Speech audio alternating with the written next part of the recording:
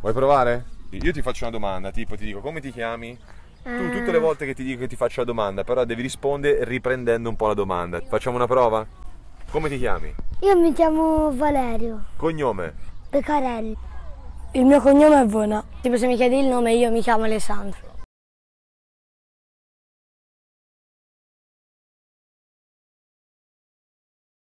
Nome? Io mi chiamo Alessandro Iacoviello. Il mio nome è Riccardo. Il mio cognome è Riccardo. E Martino.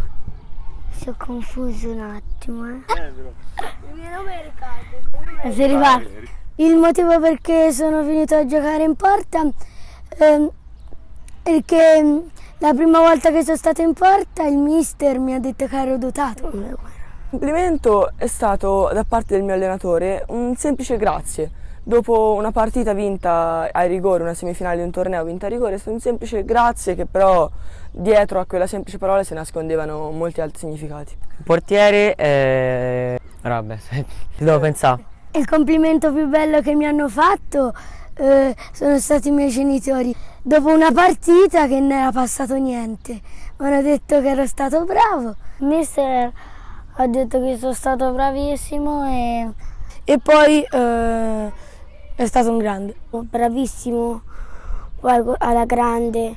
Bravo. Che, che era un pallone molto difficile da parare, sei stato molto bravo. Grande, hai salvato la squadra. In questo campo ho imparato E quando i mister parlano non bisogna interromperli. Rispetto per i compagni di squadra.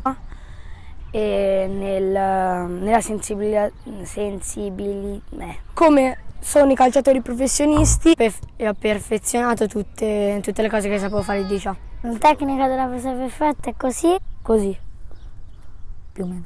oppure così. Me l'ha detto così, però è meglio così. Grande. Dammi 5, sei stato grandissimo. Se parassi come parli saresti fortissimo.